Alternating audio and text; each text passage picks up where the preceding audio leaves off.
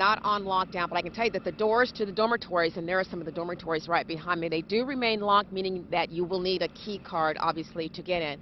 We've seen just one or two people kind of walking around campus. Now, Benedictine was put on alert Tuesday night. They remain on alert. That's all because of a threat posted on the social media site Yik Yak. Now, Yik Yak and Atchison police are working to try to find out who posted that threat. There was also a follow-up message. As a precaution, extra security is here on campus. Also, increased police patrols.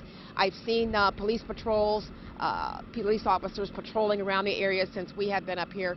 We're also told that even though the campus is on alert, they want everyone to just be vigilant about their surroundings. We are told classes will go on today as scheduled.